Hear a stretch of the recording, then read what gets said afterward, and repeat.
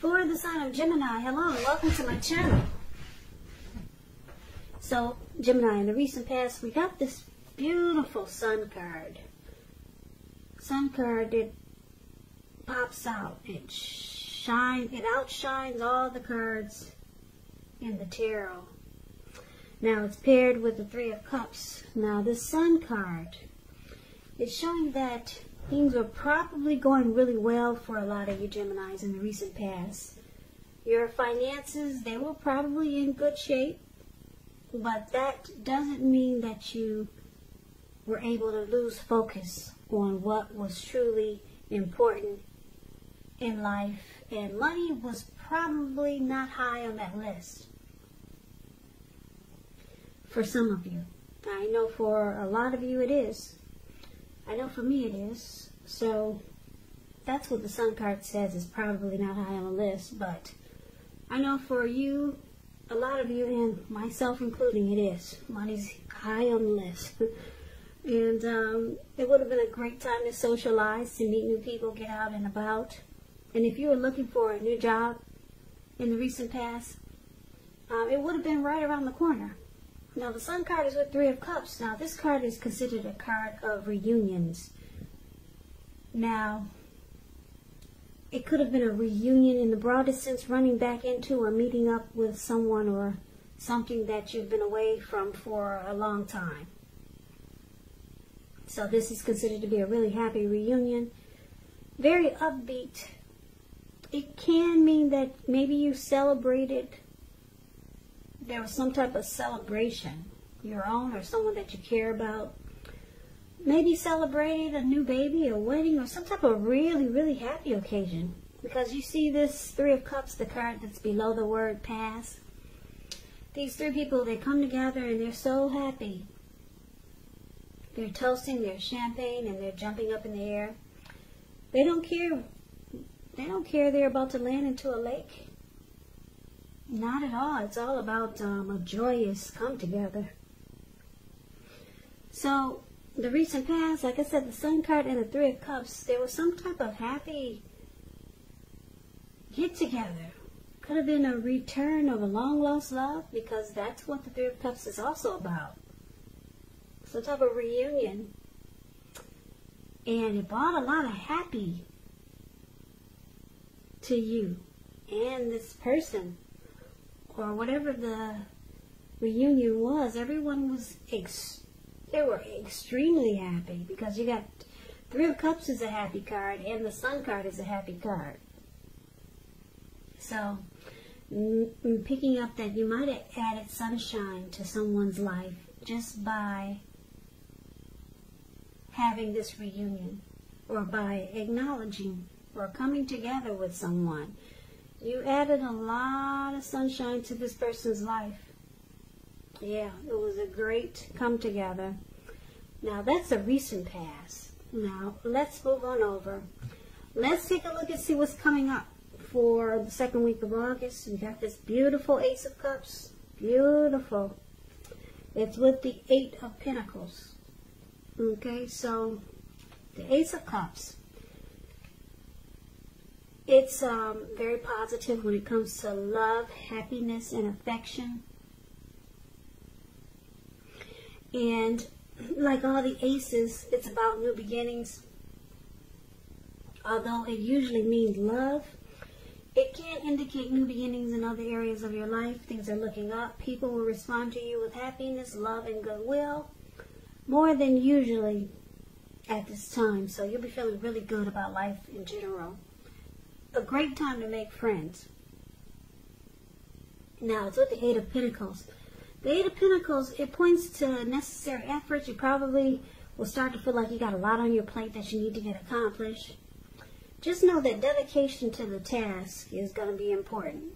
But if you let it work for its own sake, that can be counterproductive. So try to be clear on what you're trying to accomplish. Strive for balance. No one can or should work all the time.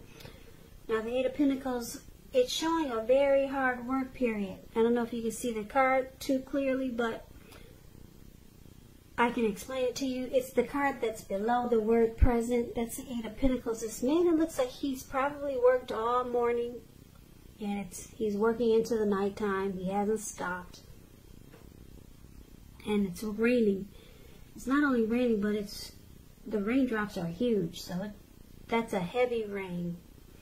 And it looks like he's not stopping. He's continuing continuing to work probably all throughout all throughout the nighttime. So it's a very hard work period.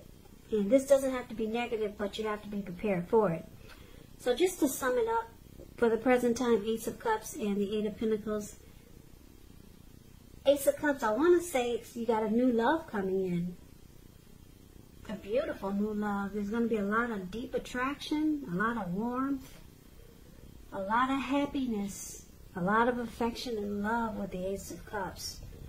And this person could be the the type that wants to work really, really hard just to make it work. Or I get two storylines. A new love that is um that works a lot. It could be getting a wonderful new love, but this person has a heavy workload. Maybe they're trying to master a craft or they really enjoy their employment, or this new love could really be trying to work really hard, like I said, towards this connection and trying to master it. So it could go a couple of couple of ways this storyline coming up for the present time. Keep in mind with the Ace of Cups showing up here, um, if you are in a relationship already, it takes a turn for the better with the Ace of Cups a deeper level of understanding or commitment. So it could go to the next level. It could feel like an encouraging new start if this is not someone new coming in. So keep that in mind. So it's beautiful for the present time for love and relationships, Gemini. Yep, really beautiful. So let's take a look and see what the challenge is. We got the Nine of Swords, and it's with the Knight of Cups. Now, this Nine of Swords, it's showing that you might feel like you need to guard against feelings of anxiety. Yeah. So you might need to take a look at whether or not any of that's under your own power or control and try to lessen it. Or if things or people in your life are contributing to this anxiety. If this is the case, take a good look at it and see whether or not something in the relationship can be changed to make it more workable for you. There's something about this time period that can cause people to feel like their life should be in some way more, bigger, or just different than it is. So try to take comfort and joy in the ordinary things and just know that that's where the beauty really is. So the Nine of Swords, like I said, it's about hardship, nightmares, anxiety. Grief could be depression. And it's paired with the Knight of Cups. Now the Knight of Cups, it's a very optimistic card in the tarot. It's a good card to see, regardless of any question. This card, it comes with messages, though. Yeah, you see this man, he's on this huge fish, and he's charging through in the waters, coming forward. So some, if you're wondering if somebody's going to reach out, I'm here to tell you they are. Yes, this person is coming for you. Uh, the Knight of Cups, it tells you that things are going well. You'll be feeling charged up, ready for action. It means that good news, particularly in the realm of matters of the heart, it's headed your way. Okay, so the challenge, Knight of Cups and the Nine of Swords. So you got somebody that wants to offer you a cup of love. They want to be romantic and sensitive towards you if you're wondering if this if someone is going to reach out, contact you, here they come. Romantic and sensitive. But it's causing you some anxiety, it looks like. For some reason, they could cause you just they could cause you to feel like this Knight of Swords, just um, having some grief maybe nightmares about this person coming towards you. Now, let's get some clarity on, on that because it's kind of vague, I know. So let's see what the outcome is. we got this King of Swords and is with the Queen of Cups. Now, the King of Swords, it stands for a powerful, opinionated, forceful type of person that's in your life.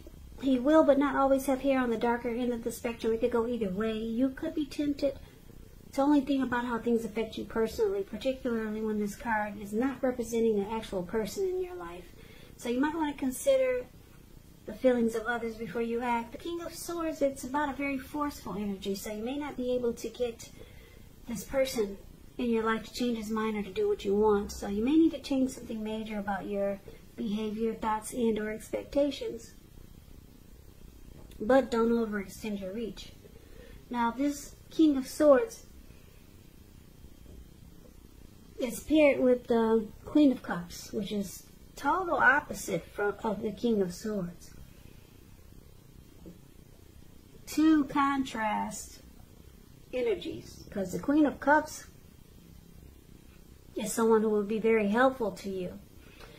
She reminds us to bring love and compassion to our work, and that's even possible if we work in a factory with objects all day rather than people. Things are probably better in your working world when you get this card than you're realizing. Just better all overall, more than just work. Queen of Cups is a very positive outlook about life, relationships. So, the outcome, Queen of Cups and the King of Swords. Like I said, wow, two two different, very different energies here. This Queen of Cups is, very nurturing. It's very nurturing type, healing and very supportive. All about love and compassion. And then you got this King of Swords is considered the narcissist in the tarot uh, very forceful type of energy. You can't really get this person to do what you want. They will overstep their bounds. This person will mistreat you. Very forceful energy. So what I'm picking up is that because I'm showing that your challenge is um, facing some type of someone that wants to be romantic and sensitive towards you. This person could give you mixed signals. One minute they're warm like the Queen of Cups, and the next minute they're cold, mistreating you, and they overstep their bounds and they're forceful. And then they go back and forth. All of a sudden they're loving and compassionate, positive, nurturing, and healing and supportive. So this could be why we got this anxiety card here for your challenge. Yeah, so you're dealing with somebody that's really complex. Hot and then cold. Nice and then mean. They go back and forth. They switch on and off on you. So, I'm picking up for a lot of you Geminis, that's why the anxiety is showing up here. Now, hopefully this person that's hot and cold is, hopefully it's not this new love that's coming in because the Ace of Cups is about